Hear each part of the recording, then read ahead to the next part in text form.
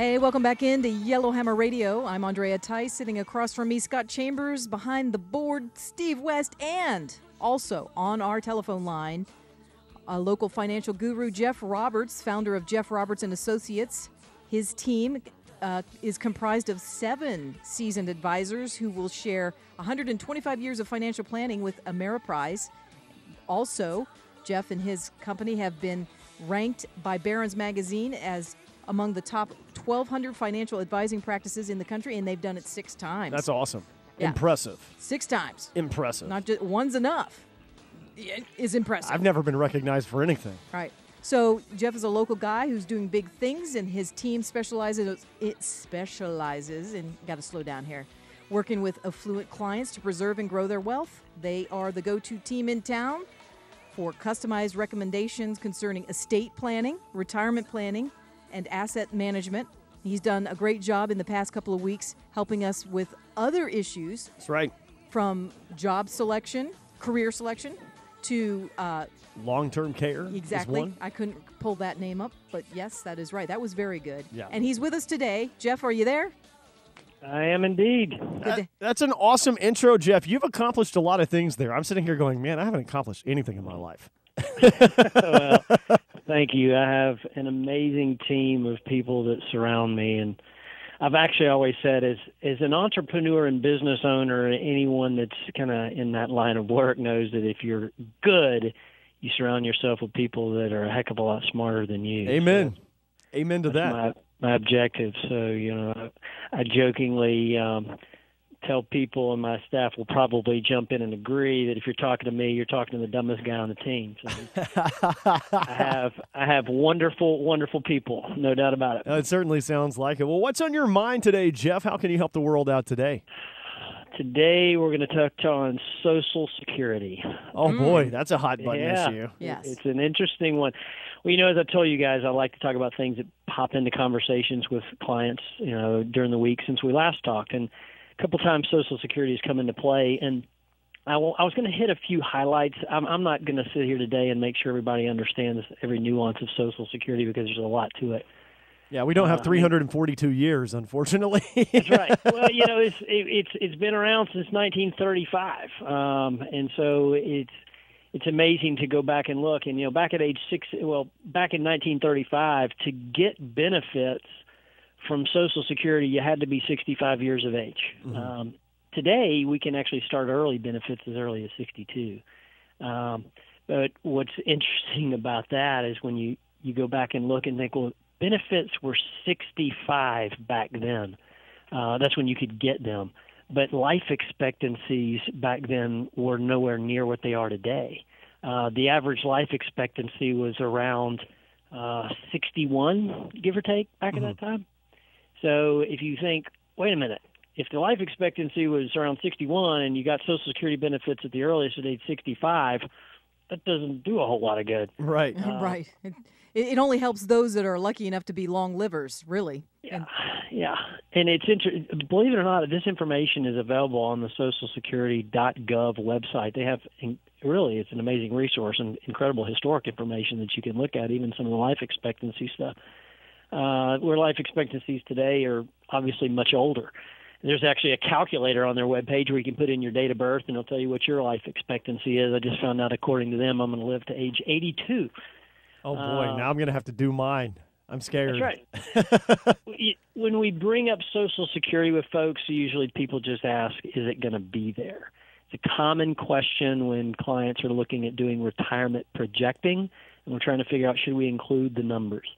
And you know, of course, unless you've been living under a rock, people have heard or believe that Social Security is going to be bankrupt um, and won't be there when it's time for you to collect. And there could be some truth to that because the Social Security trustees are projecting that Social Security or the Social Security Trust will be depleted around the year 2034. Mhm. Uh, but the good news is that they also say that there should be enough tax revenue coming in to fund about 75 to 80 percent of the projected benefits.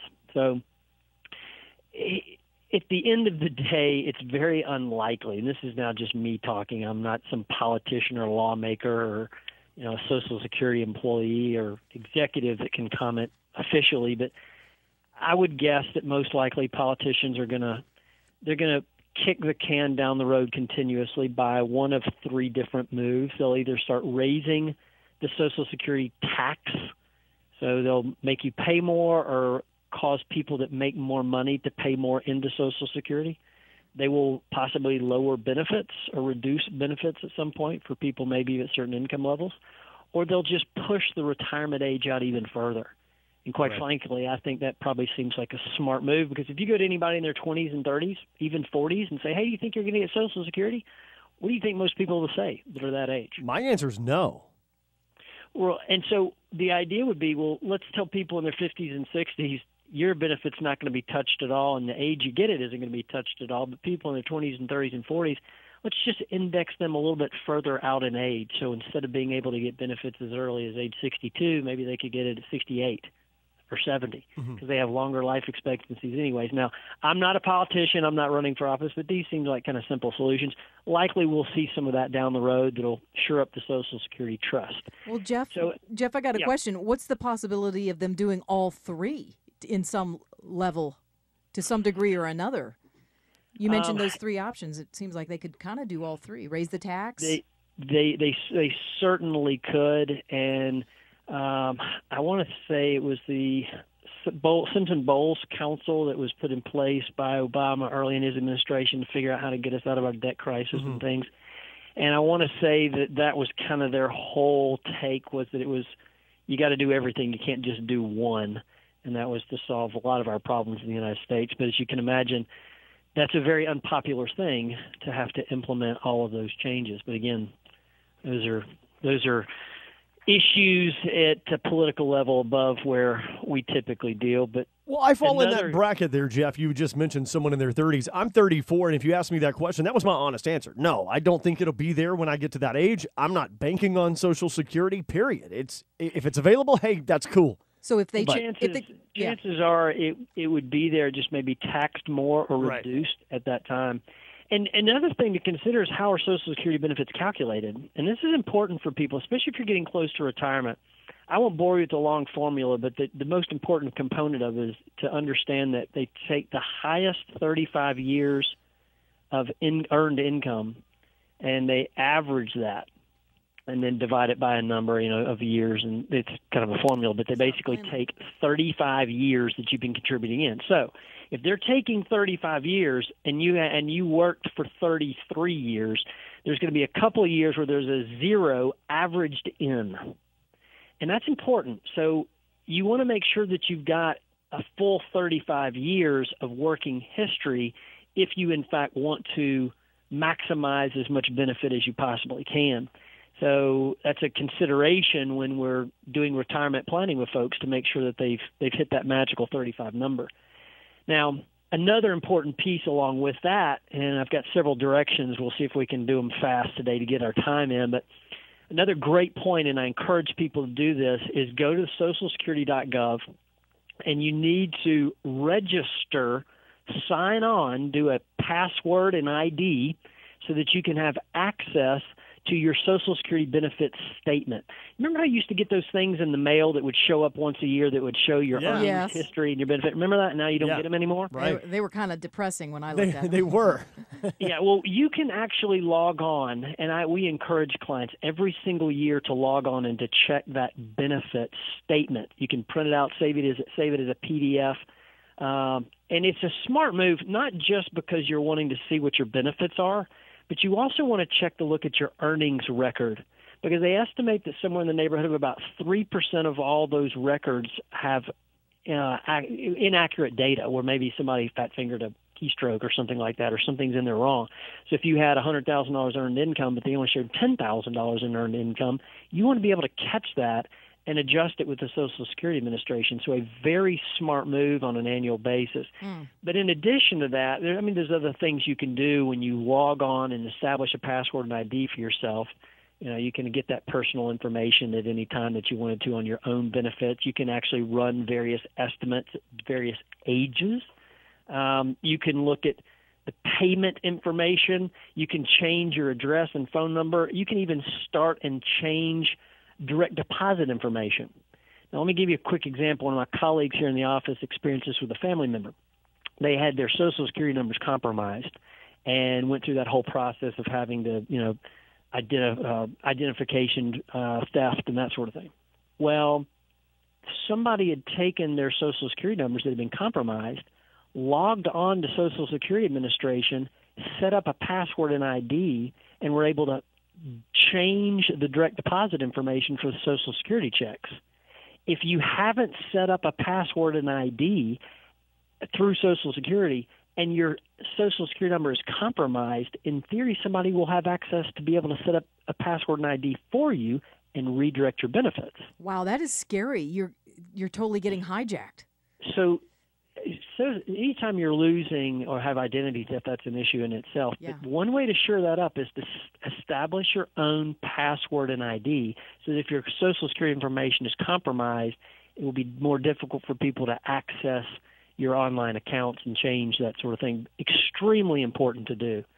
Uh, so Social Security does have some great ac- uh, accessible tools. They also have some great retirement estimators where you can just project out Social Security benefits at various ages.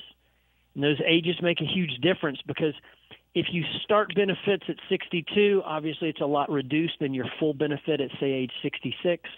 And every year you delay your benefits into the future, it typically goes up about 8% per year. So you're getting an 8% pay raise by delaying your benefit further down the road. Um, guys, we're just scratching the surface, and I know for sake of time we'll have to, to wrap up, but there are a million issues to address with Social Security. There's a bunch. And so, as a part of a good comprehensive financial plan and retirement plan, asking these questions, addressing these is extremely important. One last piece. See, you got to figure out is your Social Security benefit going to increase in the future once you start it? A lot of people don't realize that Social Security actually does go up a little bit every year. If you ask retired people, they probably tell you, no, it doesn't go up. It hardly ever does. It pretty much tracks closely with the Consumer Price Index.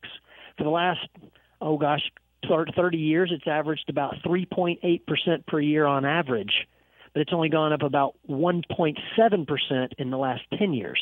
So it does increase a little bit every year, get a little pay raise, but it's not tremendous. And so that's important to calculate in your retirement planning too. If we can help, look us up at jeffrobertsandassociates.com or 313-9150. I tell you what, Jeff, you really touched a hot button issue and topic here today because you lit up the phones. We actually have a couple of callers standing by that wanted to ask you some questions. But unfortunately, I know your your time. Uh, we're short here, so unfortunately, we're not going to get to them. But uh, you you really did. You lit up the phones, and people wanted to ask you some questions today. So give the numbers one more time so they can call you directly at your office. Sure. It, it, it's area code 205 313 9150. Very cool, Jeff. We appreciate you as always being with us, and we look forward to talking to you again next Wednesday. Talk to you next week. All right, Jeff Roberts, Jeff Roberts and Associates. What a cool guy right there. Yeah, So- maybe maybe we'll continue that Social Security because it seemed like it was a very very valuable raising the issue just to do some simple things to avoid identity theft, right. Let alone plan for the future. And by the way, Jeff was talking about the calculator available on Social Security's website. I went there. My estimated age, Steve West and Andrea Tice, 82.2 years old. How about that? That's my estimated age. They didn't ask if I smoke or drink or drive fast, but they're just telling me 82.2. just based on where the the time frame you were born in. Yeah, 82. I'm 34 years and seven months old, so I'm estimated to live another 82.2 years. Yeah, you know what? I, I don't think I, that's I hate to sound negative, but leave it up to the government to totally Yeah. not factor in a lot of other personal Right. decisions. You're 34 now, and they estimate you to live another 82. No, they, no, they estimate that I'll live another 47.5 years. Okay, thank you. Yeah, All right. Yeah, to Because I'm sitting here 82.2. thinking, wait a minute, 34 and 82 is Well- like 115. Okay, I'll take it. Actually, I would not. Who would want? Would you really want to live to 150? know. No. Did they ask you if you live in Chicago? Because I think that would be. Your estimated life expectancy is delete, Tomorrow. delete, delete, delete, delete. You're dead. This is Yellowhammer Radio.